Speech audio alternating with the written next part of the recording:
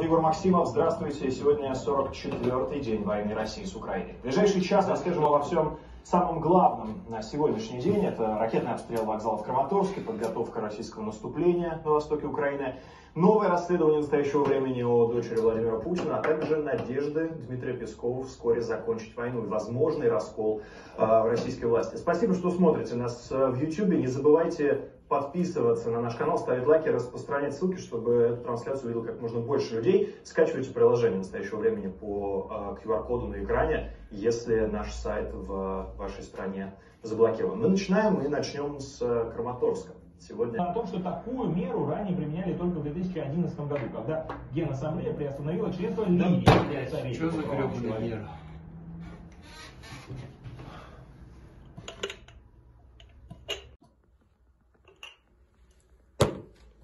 Спасибо.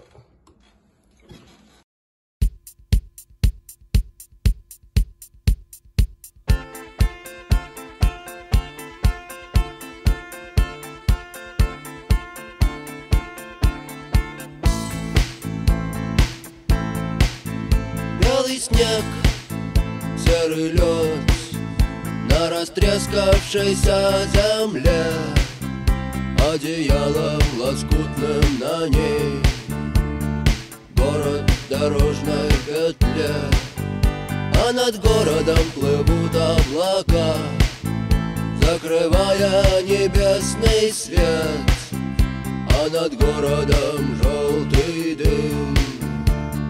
Городу две тысячи лет Прожитых под светом звезды